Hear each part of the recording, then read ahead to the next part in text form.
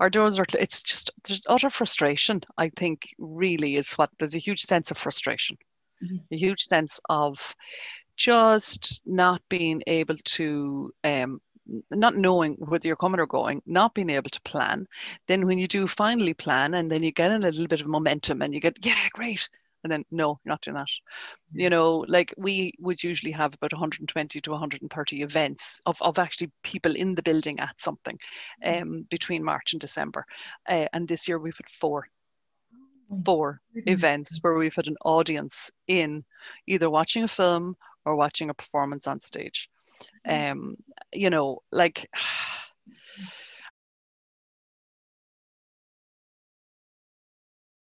I'm even trying to remember what photograph did I send you. I think it was the one of the um, the building coming up from coming up from the end of the mall. Isn't that it?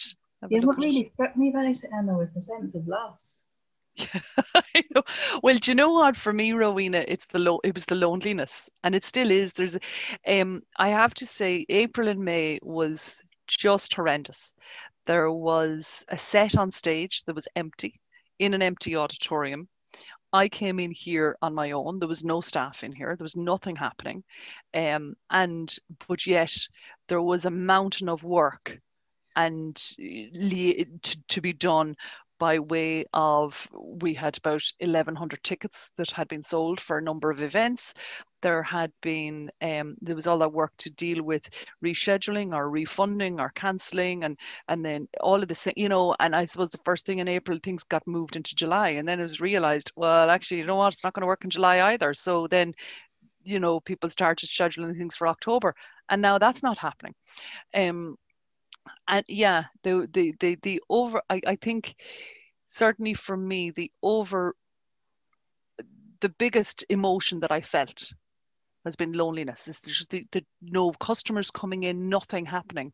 Um, and you know, there was times I'd be here and I'd be like, I heard something. I heard something. Like uh, me and the ghosts, we got really acquainted, really did because, oh my goodness, I think every time a car drove up the mall, it probably shook the whole building, and I find it's felt like I heard footsteps coming across the auditorium, um, and and I think in the photograph, it's empty. The street is empty, but yet the beautiful building, it just stands there majestically. Here I am, just, I just here on my own as well, you know. Um, and and I, you know, this time around, um, we've worked things slightly differently in the building. In that there's there's still a, we still have a good bit of work to do. We had Hullabaloo we were running, and that was that ran um, during the midterm break. So um, staff are either working remotely, we're in touch with each other a lot more, um, or some staff are staggering. They're coming in um, on Sunday, some days. So there is a bit of there's a bit of movement. There's other life in the building, which is really important to have, you know. Um, and I think that's kind of what um, stands out for me more so than anything is that it's not as I don't know how the word is, it's just not as it's difficult this time as it was in April and May. April and May was horrendous. Yeah. I remember walking by the theatre and just taking a photo of the big padlock on the gate. Yeah. And that was yeah. so sad to see that. Oh, horrendous yeah. absolutely horrendous you know but i mean when you walked inside and to see a set of it was like the um what was the, the what was the um the boat the the Mary Celeste which was the Mary Celeste which one was the, yeah it was like the whole just thing was abandoned the set was still there on stage um and it was you know it was probably the end of may by the time we were able to coordinate and get people in to actually you know safely be allowed to to get in and to get it removed you know um but there was and and even that rowena the removal of that set really was like the nail in the coffin that because nice. there was such hope around oh we'll get back in we'll get back in you know we'll push it into july we'll push it into september. It, it we'll do it for vintage week. Do you know what i mean? It, it, there was there was a level of hope all along and then eventually it was you know what? We're actually going to have to admit defeat here. This is not happening. And now that set was for the hired man um, and it then we had planned, right, we postpone everything until next March. But unfortunately, now in the last, you know, six weeks, the guild had to make that decision. Well, you know what, that's not going to happen either because you, you can't have 30 people on stage. You can't actually have them rehearsing, all of that. You know, if you're to have 50 people in an auditorium and 30 of them are on stage, you've only left with 20, then you have an orchestra, so you're left with an audience of about 10, you know, so really it's not on, it's not going to happen, you mm-hmm. know.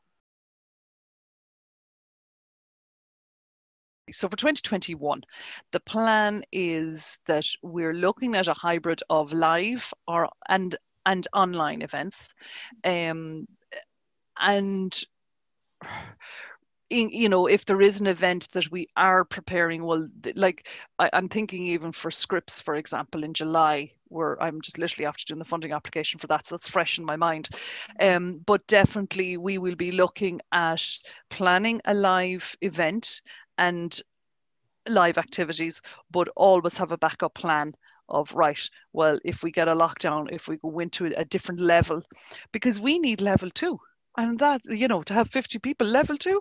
So but you know what what bothers me about that is we have the most beautiful exhibition hanging in the in the foyer and those doors are closed and our footfall is that not that massive. Our mm. footfall might be one or two people an hour you know as people pass by or you know there's never never even like in eh, eh, we you'd never have loads of people in to see the exhibition at the one time. There's like a steady foot, foot footfall throughout a day uh, or throughout the week you know um so at, at one stage i think was it in july there was talk about um the levels and the numbers of I can't even remember what that was. There was a, a thing in relation to the the number of people you were allowed in, in the building at any one time, you know, and there was the different levels. I think there was a difference between 50 and 100 or something, depending on the level that you were at. But at that stage, we didn't even have 50 people in throughout the whole week. Whereas, you know, eh, literally across the whole week, we didn't, between the footfaller coming into the exhibition or maybe whatever class, or there could have been a yoga class on or something like that. Um, but yet restaurants and cafes were turning that over in an afternoon and really I, I don't I, I, I struggle with the logic of having our, our front doors closed. I can completely understand not having people 50 people come in and sit for an hour and a half to watch something. Um, but certainly to be able to come in to see the exhibition, there makes no sense not to be able to do that. So with that in mind, then we are looking next year at having a little bit more external community engagement in our programming, which we probably should have been doing anyway, Rowena. You know, only I, I, I find certainly we were we were on this hamster wheel of like, okay, do it, do it, do it, do it. Uh, you know, in the last month, I've finally had an opportunity to actually think and you know the, oh well maybe we could do it this way or you know there is the, the hamster wheel is slowed down thankfully and it that that is it, it is it, and it needed to slow down because it was kind of getting out of hand anyway. Um so i think I, you know, I, I hope, and we, we we're going to use this opportunity positively to recalibrate and rethink and just examine okay what do we do? How can we do it differently? So we can't have our audience coming in the door. So how do we get out to our audience? So but different community engagement projects um, over the next 12 months that's the way we're going to do it. And to create a presence and people just still be aware that we are here. Mm-hmm. um, but i certainly do look forward to being able to have full houses again and mm-hmm. and you know see an audience in because just the enjoyment everybody gets when they come to an event. And and you know, it's an, I think people need that as well. They need that escape away from the crazy, you know. Um, I think audiences are going to be very, very slow to be getting into gatherings, but I think we also have a responsibility to demonstrate. Well, you know, we are actually following protocol. We have eh, clear lines, and and we not, might need to be you know we will need to be really strong and clear so you must book in advance. You can't just walk up. You know i mean there was one uh, over this year already when we had one event you know some somebody or one or two people arrived and just walked up and said you have a booking? No no but it's okay i'll sit wherever. It's like well actually that's the point. You can't. So bear with us while I, I do have space, but just bear with us while we figure out where we're going to put you, you know, that sort of way. Um, because you know, if we don't know if somebody's coming up in ones or twos or threes, mm. well, that has a whole knock-on effect to the whole layout of how things. So, advanced booking is going to be the thing, you know. So we need to know exactly who's coming, how many in the party, and once we have that information, then we can safely allocate seats and make sure everybody is safe, you know. But uh, you know, I think, um, I think the audience who who start venturing out from the start i think they i expect they're they're going to play by the rules and they're going to because they really want to be there and they want it to work you know um so did we yeah yeah and we all want it to work. So let's hope. I i think this providing free arts online is to stop. That's not acceptable. And I, am you know, so pay per view, and that's the way it's going to work because uh, we all can't be working for free. Artists can't work for free. The venue can't work for free. We have to generate income. Um, so that's the only way we can do it. And that wouldn't you know. be expected of any other profession, would it? No, and it's absolutely not. That it's seen as acceptable, and it's really isn't. Yeah, it is. It is seen as acceptable. And, you know, I, but I also think the artists might be a victim of, or they might be, they're not a victim, they might be a catalyst to that as well, because for their own solace, you know, they want to perform. Mm. So they will do it for free instead of not do it at all. Yeah, so, and, and I can completely understand that, you know, just do it anyway. Um, but then unfortunately, then it becomes expected and accepted that you don't, you know, oh, how should you do it for free, you know? You know, and people don't, you don't, you know, you don't put food on the table from exposure. So, you know, that's not on. Oh, this time next year, oh, Rowena, I, uh, mm. not going to be naive. I think maybe this time, 18 months, maybe could we get back out of it? Um, I don't know. Will we be, will we, you know, once a vaccine is, is generated, that's going to take a massive amount of time to mm. roll out. And just because a vaccine exists doesn't mean that a virus doesn't spread. It's, it's still as contagious, you know. So it's going to be slow. Um, I would like to see us I would like to see us with with a big light at the end of the tunnel that we know the direction and we're, we're coming out of it. Mm. Um, and and and do we ever come out of it? I mean, we're kind of living with is this it? You know, um, I look forward to being able to shake somebody's hand, to being able to greet someone with a hug if I haven't seen them for a long time. Um, you know, that just simple little things. But I think we're a very tactile and social being that really this, um, you know, not being able to do that is really, really difficult. It completely goes against the the um, just the norm.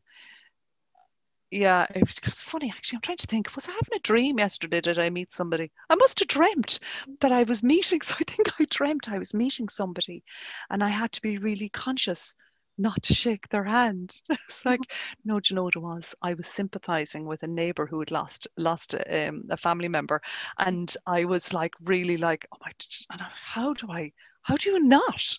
You know, um, yeah, it's or somebody calls to your door. How do you not invite them in? you know, like weird. What's wrong with them? yeah um, I think um, I think Rowena, when we come out of this, I, I have to say when we come out of it, I have to be positive that this is going to end. This is going to be a past, mm-hmm. and we will look back at this as an experience and use it to prepare for our futures, like the world over globally. Um, but I would like to think that you know we won't take things for granted, and we will have a different attitude towards each other and that we in general you know that we that we're more um and and and that we just become better people because of it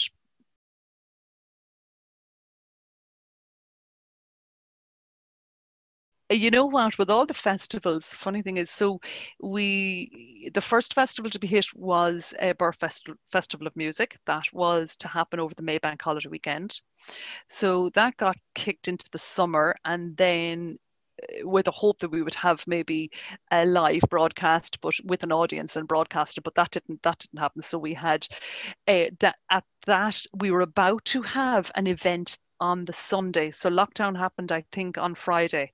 Thursday or Friday. I was in Sligo, actually, it was Friday. Um, and lockdown happened.